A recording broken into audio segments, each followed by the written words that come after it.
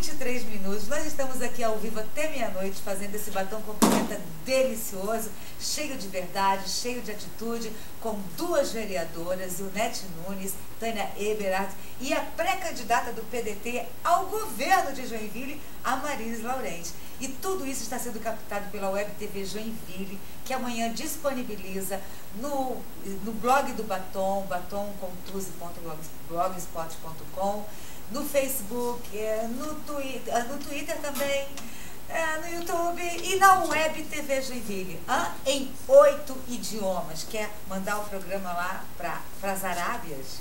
Manda, que vai ser traduzido.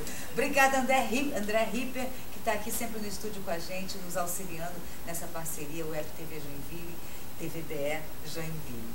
Bom, a Marilis pediu aí um direito de resposta justíssimo, afinal de contas, ela quer ser vereadora e ela não prefeita? falou. Oh, desculpa, ela quer ser prefeita? Não, eu não tenho a menor chance. a menor. Eu quero ser candidata. Prefeita. Ela quer ser prefeita. É, e ela quer responder sobre a questão da diferença salarial de aumentos para uns, para outros não, concedidos recentemente lá na prefeitura. É. A Marilis. Bom, eu na condição de candidata, candidata a prefeita, eu tenho que ter uma eu tenho que ter uma opinião sobre isso. E acho que eu agiria da seguinte forma. Em primeiro lugar, isonomia é uma, foi uma coisa, uma conquista é, da gente.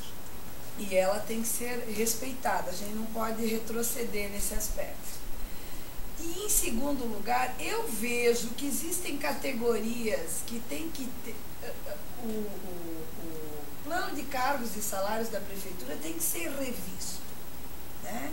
tem que ser rediscutido com o funcionalismo e, e tem categorias que eu acho que tem que ter uma atenção diferenciada, que é, são os, os trabalhadores da saúde, os trabalhadores da educação, os de segurança e talvez os que fazem fiscalização.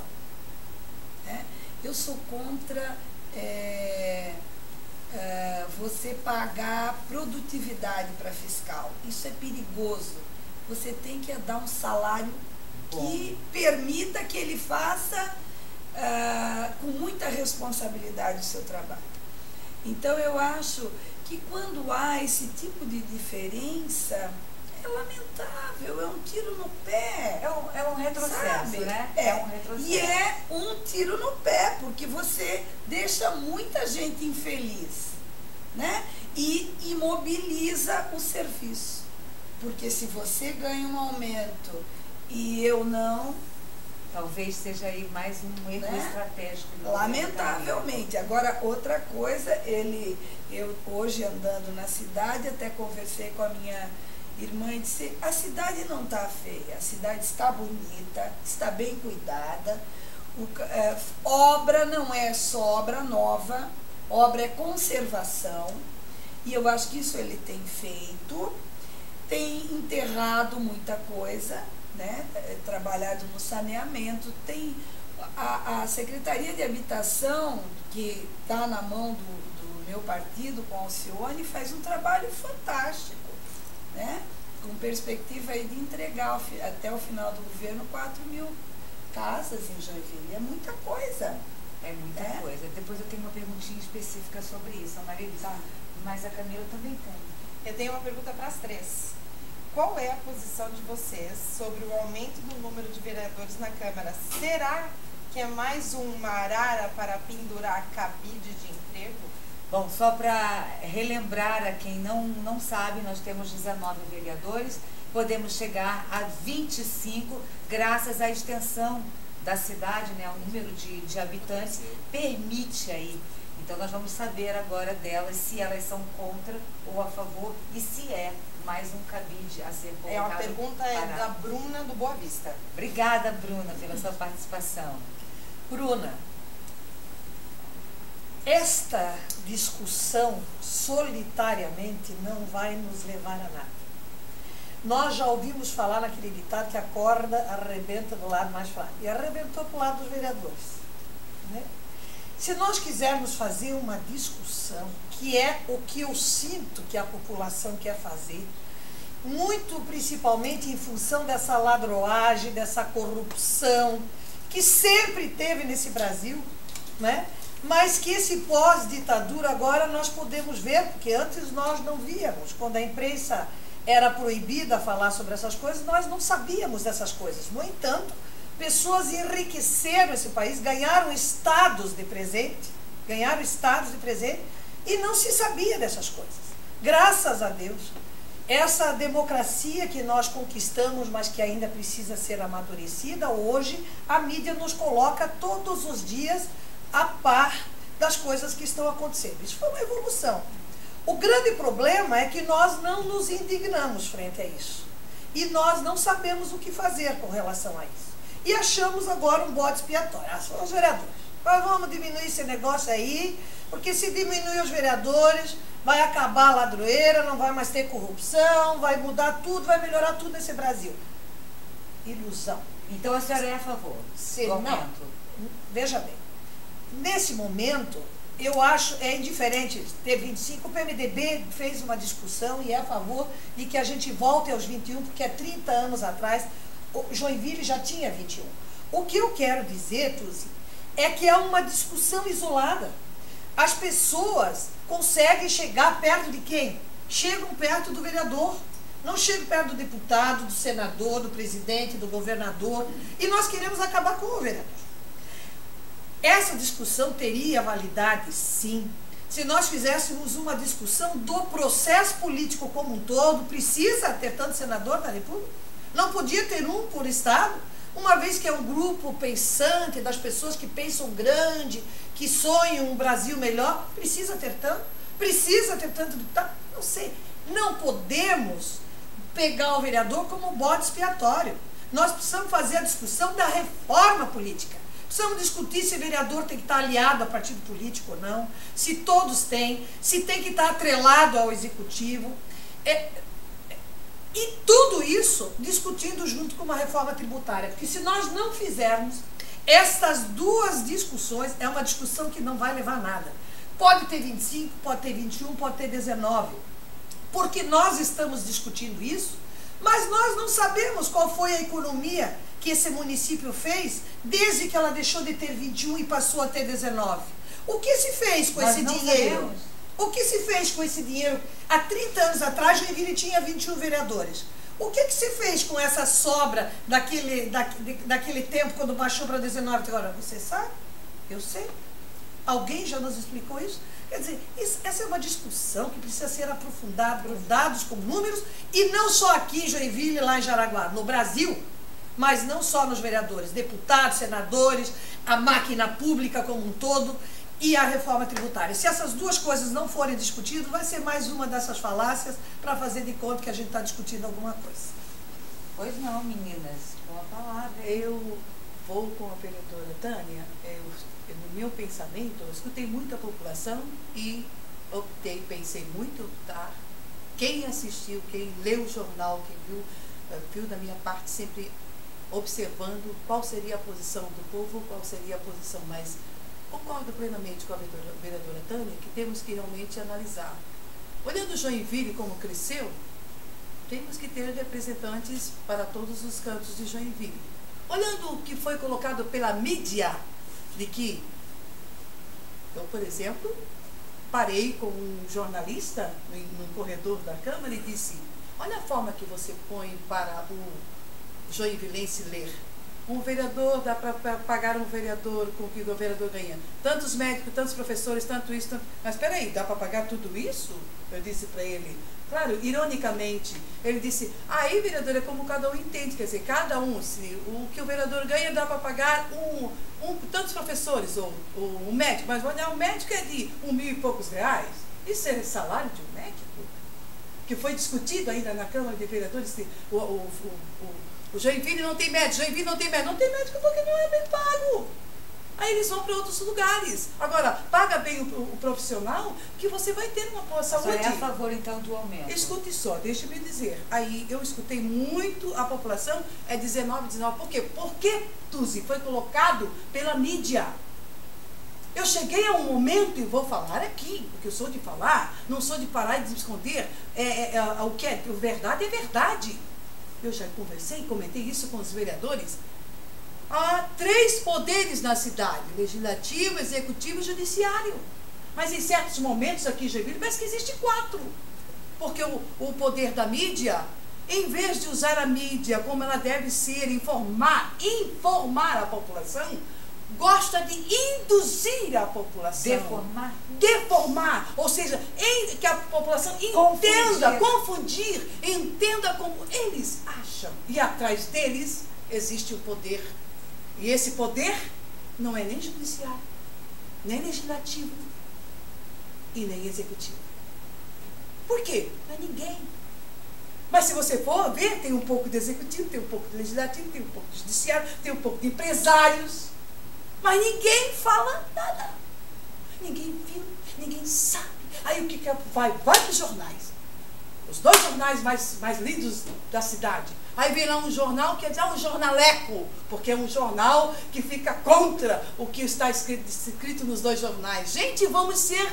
Eu disse para aquele jornalista, parei ele no corredor e disse: Olha bem o que você fala de mim. E dos demais nobres pares.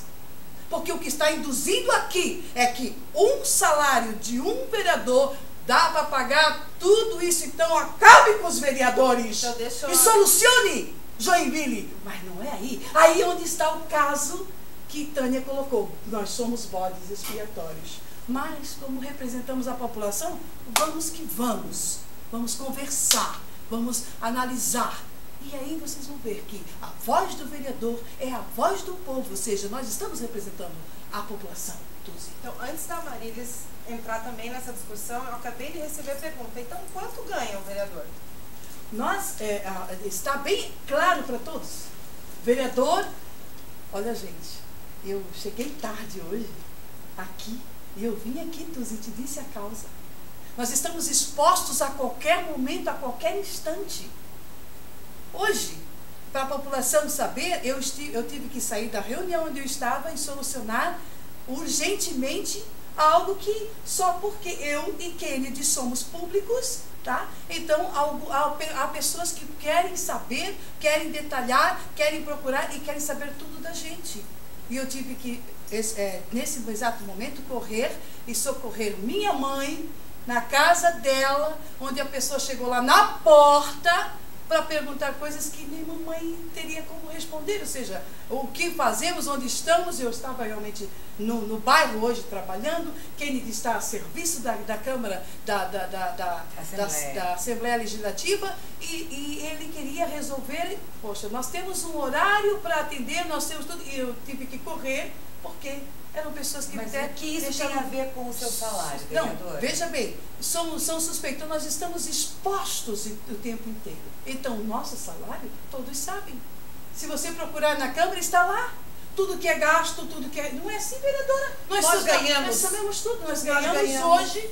R$ 8.600. R$ 1.600 é recolhido imediatamente para o imposto de renda. Né? A gente paga para pagar o imposto de renda e ficamos com R$ mil reais. Este é o que eu levo para casa. E é com este dinheiro que eu levo para casa que nós precisamos dar conta, às vezes, de muitas coisas que não é a Do nossa eu gostaria, eu gostaria Aí o que acontece? Nós ficamos expostos, só um pouquinho, pois nossa futura prefeita, nós ficamos expostos com algo, que eu te digo bem claro, Tuzi o que a gente ganha, ah, oxalá eu tivesse, não sei como é que eu porque comigo, oxalá eu tivesse mais para poder ajudar e fazer. Porque desde o momento que eu recebo o salário, o salário é meu. E se eu quiser chegar no mês e dar o salário para você, o salário é meu. Tá entendendo? Assim como também quem trabalha na Tupi ou em qualquer outro lugar, chegou o final de mês quer dar o salário para você, Deus, só que não é função nossa. Mas muitas vezes, devido às necessidades, a gente acaba atendendo um, atendendo o outro e que não, não dá para fazer nada. Agora, esse é um trabalho que nós recebemos, ok, você está tudo claro lá. A, a, a vereadora deu, deu, precisamente 8, 8 mil e alguma coisa. O que, que acontece? Nesse salário, tá? Nós nos responsabilizamos por todas as assinaturas e todos os documentos que passam, todas as leis que passam por Joinville, tá? A responsabilidade é nossa. Se no dia de amanhã eu não for mais vereadora, mas se eu assinei alguma coisa errônea para a cidade, eu vou responder até morrer. Assim também é um advogado. Ele dá a assinatura dele, é um juiz. Então, quando ganha um juiz, quando ganha um, um, um promotor, ele tem responsabilidade por aquilo que ele assina. Mas, no entanto, enxovalham só os vereadores. Tá? Então, se dá para pagar e solucionar Joinville com o salário dos vereadores, para que não precise mais de representantes, então, ok. Só que será que isso vai resolver? Nós estamos com a responsabilidade das assinaturas de todos os projetos que passam na cidade. É nós que nos responsabilizamos. Então, é sério. É, eu tenho uma visão, eu tenho uma visão muito particular sobre isso. Eu fui assessora parlamentar ao longo de quase 30 anos. E, e, e, a primeira assessoria parlamentar que eu dei foi em Brasília, num gabinete de um deputado. À época nós éramos em três. Esse deputado, em quatro anos, virou líder do maior partido do Ocidente, foi ministro de Estado, etc. E hoje é senador. Hoje é senador, Luiz governador, etc. Bom, o que eu tenho a dizer, evidentemente, que éramos três, um office boy, um motorista e eu. Trabalhávamos das 9 horas da manhã às 10, 11, meia-noite. Todos os dias. E nos finais de semana também. Eu acho que há. Bom, e de lá para cá começou a haver uma banalização de algumas coisas. Para você fazer assessoria parlamentar, essa, essa coisa começou a ser um, uma, uma, uma, coisa, uma barganha, assim, uma coisa ruim. Então eu vejo o vereador, o parlamentar, numa, numa sinuca de bico desgraçada, porque ele não, a função dele, que é legislar, está é, não está clara para os eleitores. O, leg, o, o, o, legislador tem que fazer leis. Ele não pode ser despachante, resolver um problema aqui, uma coisa de INSS lá.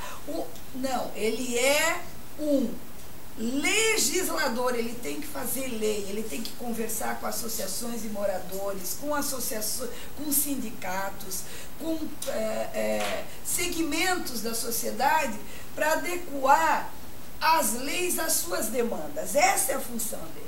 Eu acho que representação política pode ter, no meu ponto de vista, quanto mais melhor, 50 vereadores. Só que, só que, só que, se na Câmara dos Deputados nós com 500, nós tínhamos 50 carros num pool que atendia aos 500, aqui, por que que vereador, com todo respeito, tem que ter carro se fica claro que a função dele é legislar? Não é atender ao, o povo que fica pedindo coisa, porque aí você fica vulnerável, destrói o político, não há dinheiro que chegue para pagar Marilis, enterro. E a Marília, Ah, desculpa interromper, mas, mas- eu preciso ir para apoio É, cultural. justamente. Talvez esteja justamente aí o problema da banalização do serviço do vereador. Quando ele próprio deixa de legislar